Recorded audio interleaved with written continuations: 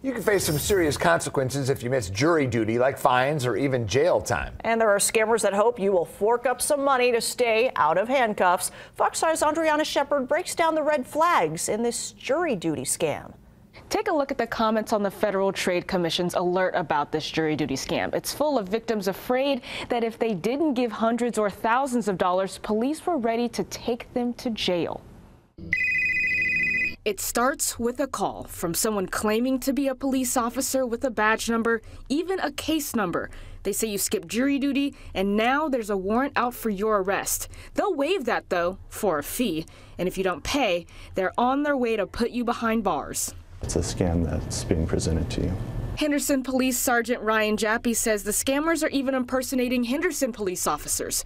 If you get this call, no matter how real and terrifying it all sounds, neither the police nor any other government agency will call you and demand that you send money right away. They won't ask for your social security number over the phone either. The fear of being contacted by a government agency is sometimes enough where um, the victim feels that pressure that they have to comply with what's being told to them. If you're worried this call is real, Jappy says take a breath, hang up, and find the number for whatever agency the scammer claims to work for and call that one directly. A real government official would have no problem if you wanted to verify.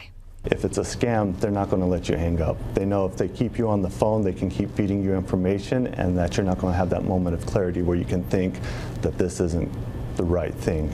Just like it's illegal to skip jury duty, it's also illegal to impersonate police and court officials. So if you get one of these calls, report it. Andriana Shepard, Fox 5 News, local Las Vegas.